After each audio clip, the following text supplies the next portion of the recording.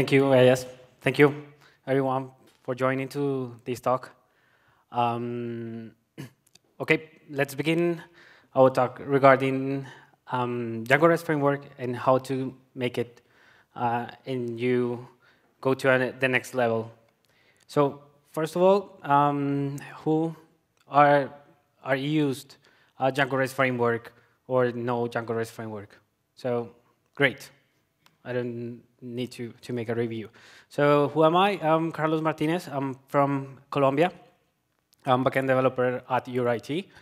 Um, you can follow me on Twitter, um, on GitHub, and also I have um, on a small blog.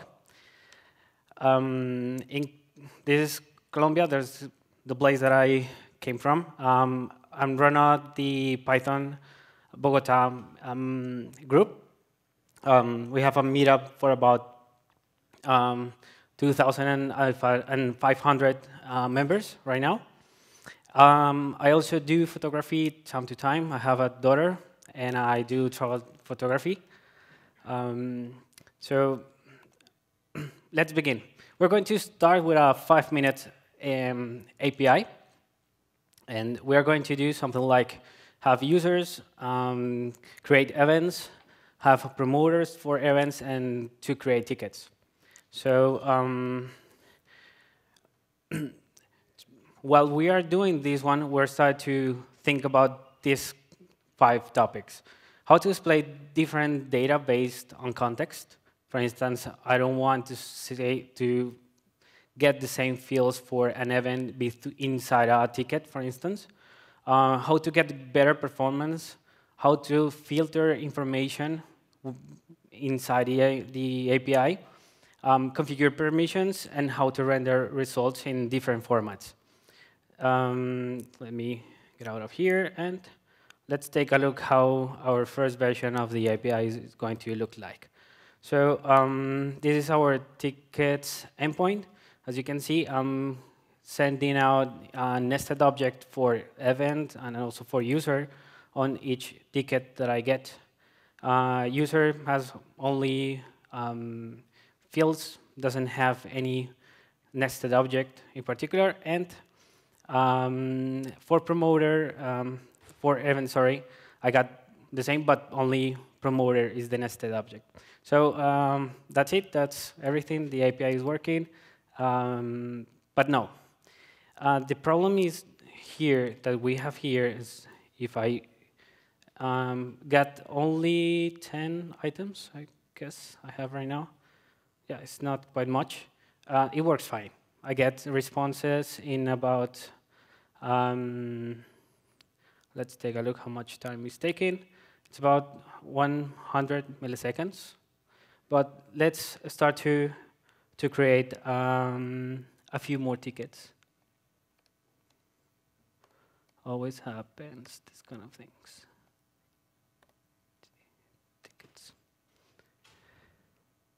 Uh, come on. Tick.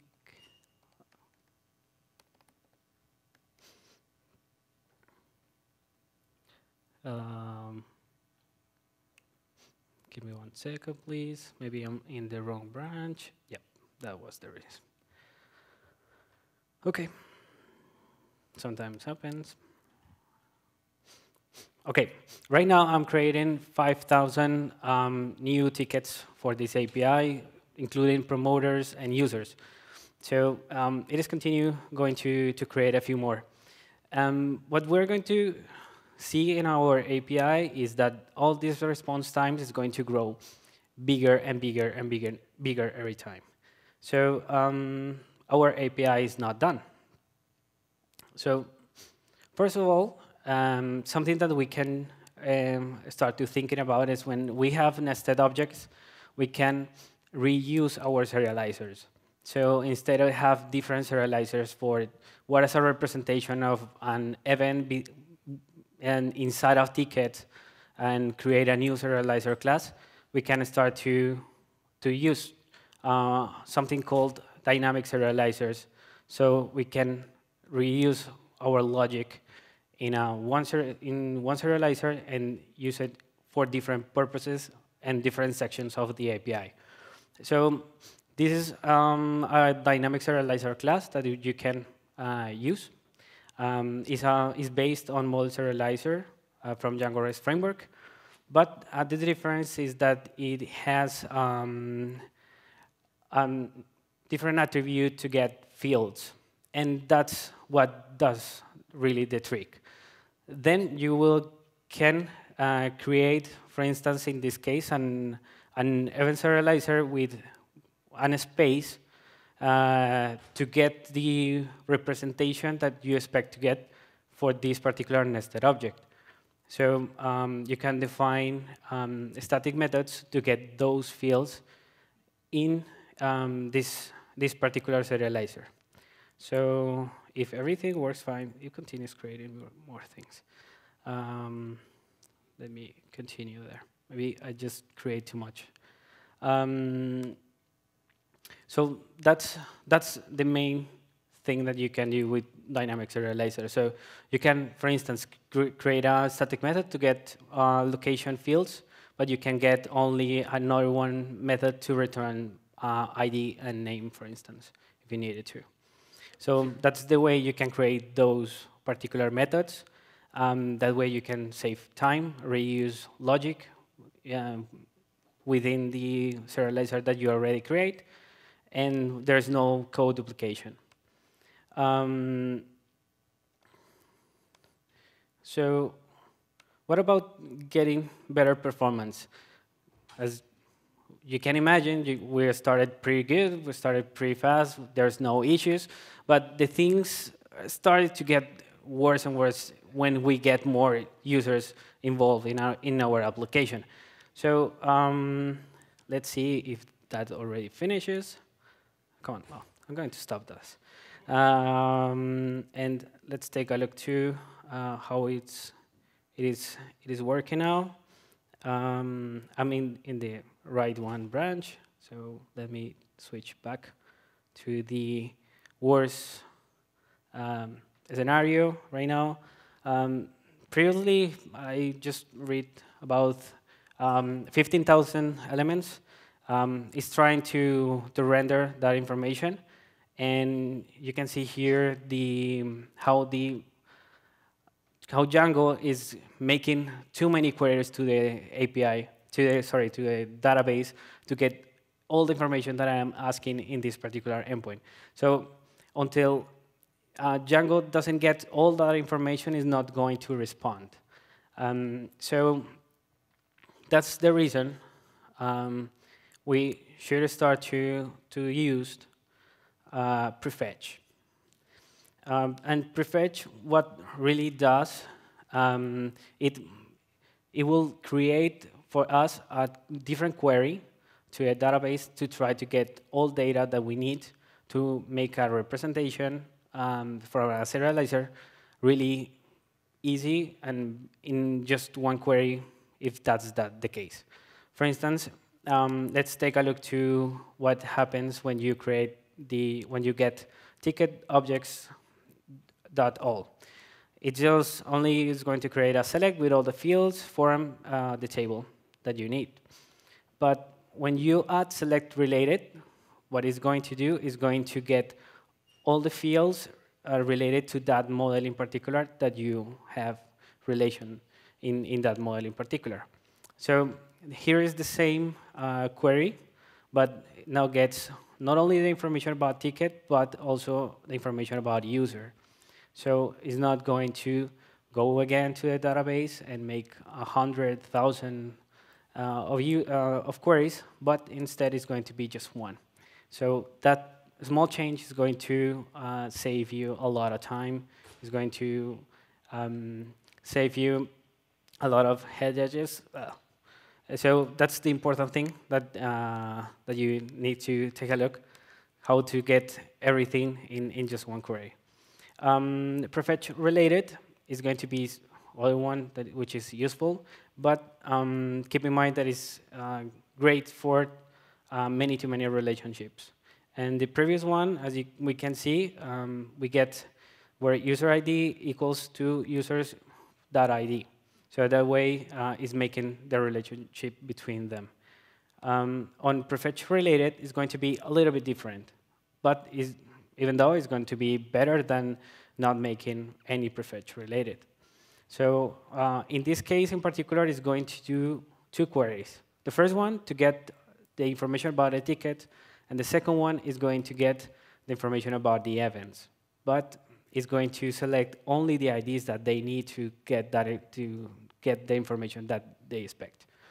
So for instance, if you make a filter for tickets and you are getting just a set of tickets that is, go is going to create a different set of, of IDs that is going to query for the table event. So it's going to be way smaller. Also, something that you can do and you can improve is to use the prefetch object. What uh, really help you out is to get the information that you really need for that particular representation on the API. So if you get, uh, if you see here um, inside the prefetch related, instead of having the string of the related field, I'm getting a prefetch object inside a set the string of the um, attribute or the external or, or the foreign key, and I can create a new query set and select the things that I really need. So uh, with that dot only, I am only asking for, in this case, ID and name. So the query is going to be a little bit more smaller. And when you have a lot of data to, to get in, it's going to, to make the change. So let's take a look if that already finishes. Yep, it takes two minutes and five seconds uh, to complete it. So uh, our user is gone from the application. It's not going to uh, continue with us. Um, so prefetch and related and select related is a must to our, our when our applications are growing. Um, next that we can do is to um, start to make making filter, how to get um, our information in a better way. Um, one package that is really useful to get this is to use Django URL filter. Um, you can set up um, two ways. The easy way is this one. You only add Django filter backend for um, URL filter integrations DRF, and you can select the filters that you expect to get filters on.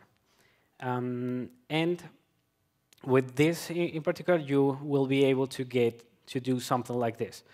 So you can go for uh, the endpoint events and you can filter uh, to get a set of IDs if you need to, or you can get um, the name and make sure it contains any particular string that you expect to get, or if a related object uh, has uh, some particular name in this case, and, and you can start to filter even more complicated things.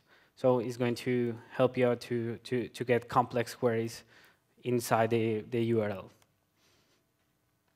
But you can also make it with a class and use a model filter set that you can reuse on different endpoints. It's the same thing, the same logic. Uh, it's pretty similar to, to make a serializer, a model serializer. All right. So, um, but we already make prefetch. We already make a few things regarding filtering.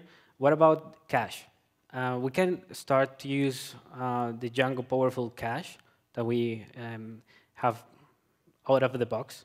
So to do it, uh, you need to activate those uh, middlewares uh, with the red arrow, arrow, and make sure that the common, field, common middleware is in the middle somewhere in the middle. Um, and to make it work uh, using Django REST framework, you need to call these two decorators. Um, vary on cookie um, with the method decorator vary on cookie, and the um, decorator to get a cache page, and you can set up the time if, uh, that you want. And if you need to, uh, and I recommend it to, to make it, uh, select and create a key prefix. So that way, you, in, you won't forget how to uh, invalidate your cache, your, your cache at this point. So um, if you set up this um, and it's working, it's going to give you a better performance, please do not forget to invalidate cache in some way. So drop these lines of code somewhere in your code to make sure that when something change, the cache is invalidated uh, at the right time and not after the time expired. Um, but there's something else that we can do to improve our performance using cache. One is a really good package called Django Cache Ops. And what is going to help you out is to cache all ORM transactions that you are doing, and you can um, cache multiple query sets.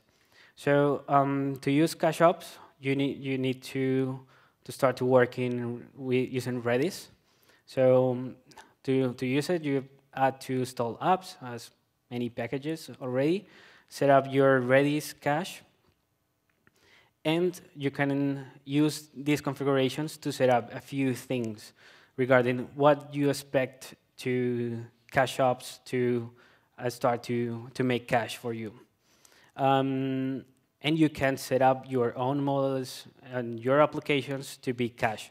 So you can define what operation is going to be cache by default, um, what is going to be the timeout by, by default on, on different applications and different models if you need to. And um, you can define to, um, to create uh, a cache for everything, but it's not quite recommended because you may end up having cache on different things that you really don't want to. Um, so if you need to, you can also make cache. Um, you, may, you can use cache ops to, to make it by yourself. So um, as you can see, we have um, this get query set from a mode view set and you can define the, your query as, as expected, but at the end you append a dot cache and open and close in parentheses. And with that, it's going to be cache in, in Redis, and you will get the results not for, from your database, but instead from Redis. So it's going to help you out with performance. Um, but what about permissions? What we can do to improve our, our permissions? Um, actually, Django already has a very great um, permission system, but it, we can try to use something called dry permissions, and it's going to uh, improve our experience. So, um, as any other package, we install with pip dry rest, um, dry rest permissions, uh, added to our installed apps.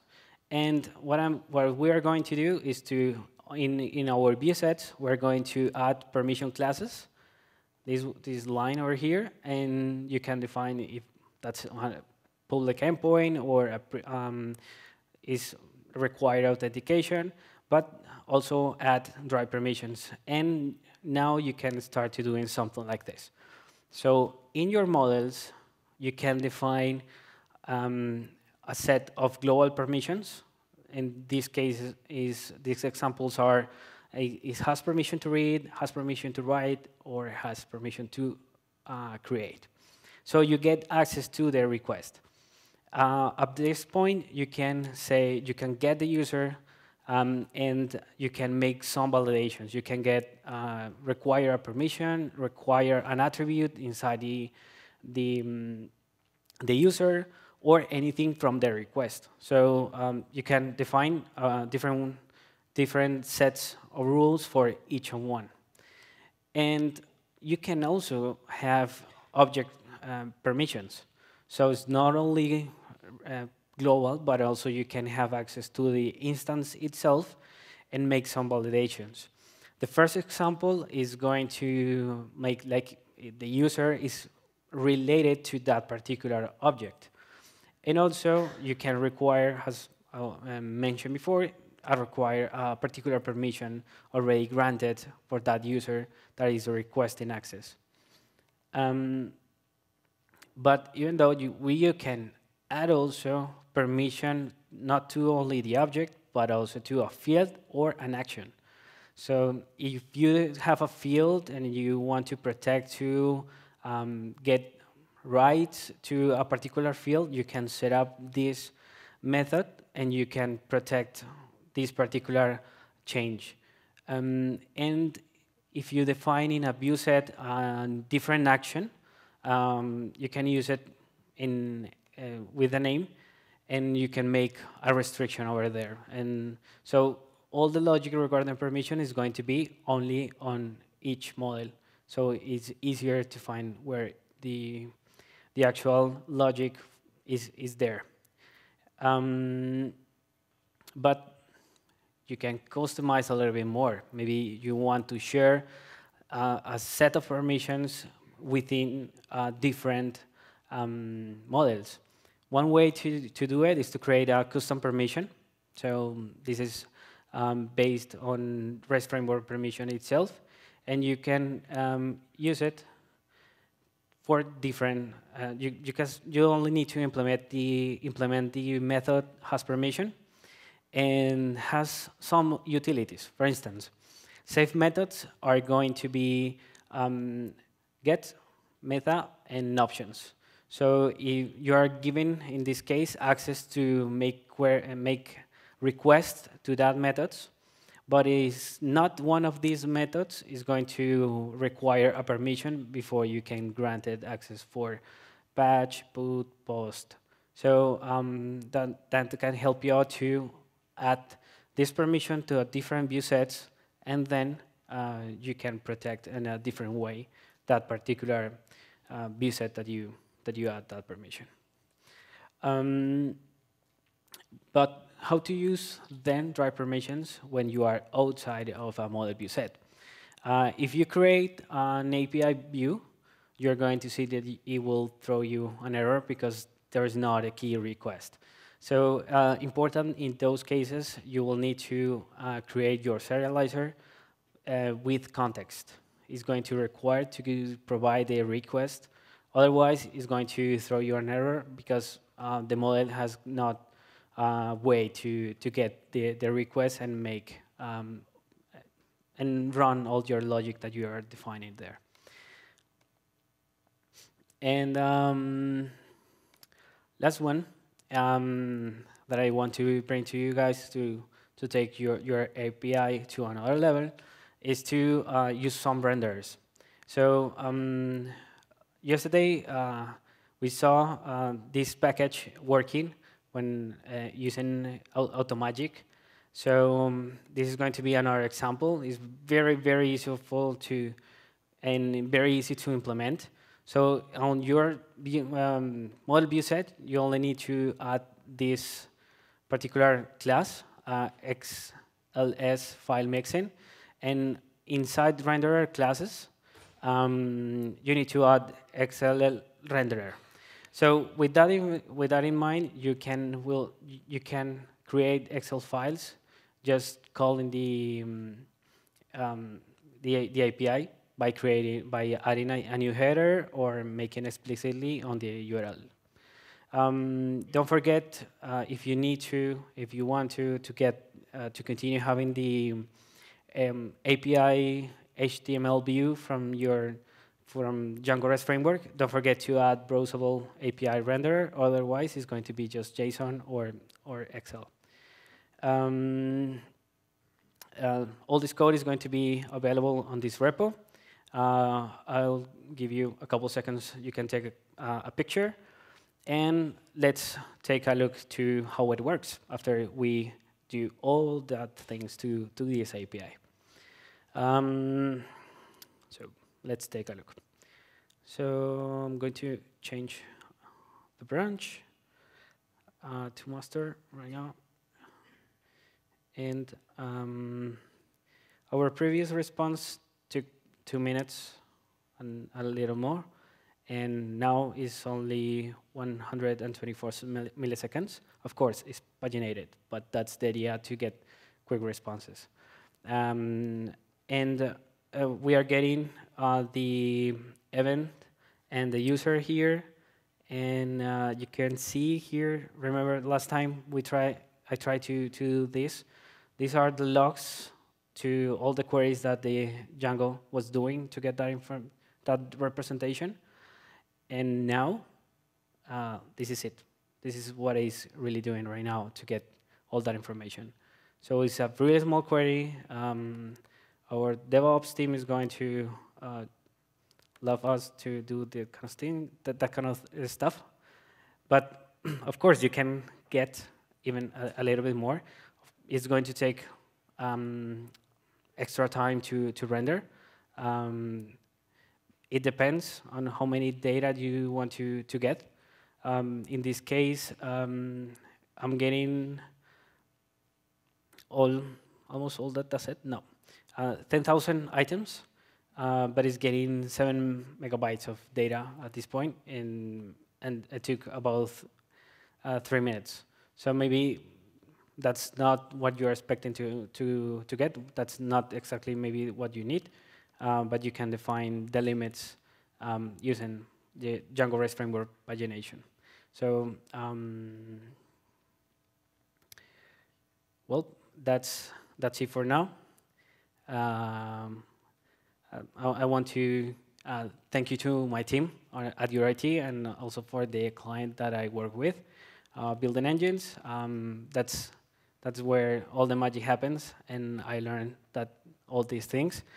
Um, so thank you.